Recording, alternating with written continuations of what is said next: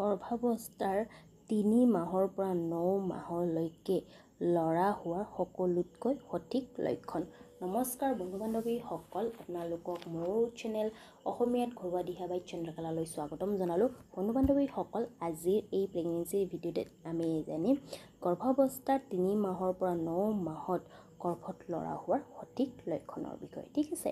বন্ধু বান্ধৱীসকল ভিডিঅ'টি আৰম্ভ কৰাৰ আগতে যদি আপোনালোকে মোৰ চেনেললৈ নতুন হয় তেন্তে মোৰ চেনেলটো ছাবস্ক্ৰাইব কৰি তাৰে ওচৰত থকা নটিফিকেশ্যনৰ বেলখন প্ৰেছ কৰি অল কৰি থৈ দিব যাতে মই আগলৈ এনেকুৱা প্ৰেগনেঞ্চি ৰিলেটেড ভিডিঅ' আনিলে আপোনালোকে প্ৰথমতে নটিফিকেশ্যন পাই যায় আৰু যদি আপোনালোকক মোৰ এই ভিডিঅ'টি ভাল লাগে তেন্তে এটা লাইক কৰিব লগতে বন্ধুবৰ্গলৈ শ্বেয়াৰ কৰিব।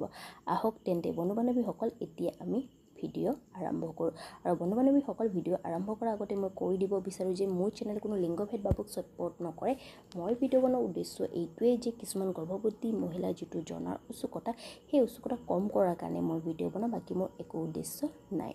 আৰু বন্ধু বান্ধৱীসকল কি হয় যেতিয়া এজনী মহিলাই গৰ্ভধাৰণ কৰে তাৰপিছত কি হয় গৰ্ভৱতী মহিলাৰ জনাৰ উৎসুকতা থাকে যে তেওঁৰ গৰ্ভত থকা শিশু কি হয় ল'ৰা হয়নে ছোৱালী হয় লগতে তেওঁৰ পৰিয়ালবৰ্গৰো জনাৰ উৎসুকতা থাকে যে গৰ্ভৱতী মহিলাৰ গৰ্ভত থকা শিশু কি হয় ল'ৰা হয়নে ছোৱালী হয়। এনেতে তেওঁলোকে বিভিন্ন ধৰণৰ উপায় কৰি থাকে বা লক্ষণৰ দ্বাৰা জানিব বিচাৰে যে গৰ্ভৱতী মহিলাৰ গৰ্ভত থকা শিশু কি হয় ল'ৰা হয়নে ছোৱালী হয়। আৰু বন্ধু বান্ধৱীসকল আপোনালোকে জানে যে ভাৰতৰ লিংগ পৰীক্ষা কৰিব নোৱাৰি। ভাৰতৰ লিংগ পৰীক্ষা কৰাটো দণ্ডনীয় অপৰাধ হয়। আপোনালোকে কোনো ধৰণৰ মেডিকেল হেল্প ল'ব নোৱাৰে। কিন্তু এনেকুৱা কিছুমান উপায় আছে বা লক্ষণ আছে যাৰ দ্বাৰা আপোনালোকে গম পাব পাৰে যে গৰ্ভৱতী মহিলাৰ গৰ্ভত থকা শিশু কি হয় ল'ৰা হয়নে ছোৱালী হয় আৰু গৰ্ভাৱস্থাৰ সময়ছোৱাত এজনী গৰ্ভৱতী মহিলাৰ শৰীৰত বিভিন্ন ধৰণৰ পৰিৱৰ্তন দেখা যায়। শাৰীৰিকভাৱে হওক বা মানসিকভাৱে হওক বা হৰমনৰ পৰিৱৰ্তনো দেখা যায়। আৰু বন্ধু বান্ধৱীসকল এইখিনিতে মই আপোনালোকক কৈ দিওঁ যে কোনো লক্ষণেই চাওক হাণ্ড্ৰেড পাৰ্চেণ্ট সঠিক নহয় আপোনালোকে এইটি পাৰ্চেণ্ট বা নাইণ্টি পাৰ্চেণ্টহে গেছ কৰিব পাৰে ঠিক আছে? আহক তেন্তে বন্ধু বান্ধৱীসকল এতিয়া আমি জানো গৰ্ভাৱস্থাৰ তিনিৰ পৰা ন মাহত গৰ্ভত ল'ৰা হোৱাৰ এটা সঠিক লক্ষণৰ বিষয়ে।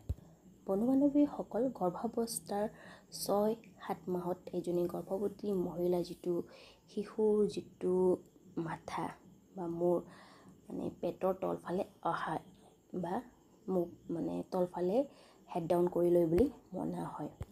যাৰ বাবে এজনী গৰ্ভৱতী মহিলাৰ যিটো কঁকালৰ যিটো বিষৰ সমস্যা দেখিবলৈ পোৱা যায়। আৰু গৰ্ভাৱস্থাৰ সময়ছোৱাত যদি এজনী গৰ্ভৱতী মহিলাৰ কঁকালত বিষ থাকে তেন্তে জানিব যে এইটো এটা গৰ্ভত ল'ৰা সন্তান থকাৰে লক্ষণ হয় বুলি। গতিকে বন্ধু বান্ধৱীসকল এয়া আছিলে গৰ্ভাৱস্থাৰ তিনিৰ পৰা ন মাহত গৰ্ভত ল'ৰা হোৱাৰ এটা সঠিক লক্ষণৰ বিষয়ে। বন্ধু বান্ধৱীসকল আপোনালোকক মোৰ ভিডিঅ'টি কেনেকুৱা লাগিল মোক কমেণ্ট কৰি জনাব। ঠিক আছে ধন্যবাদ।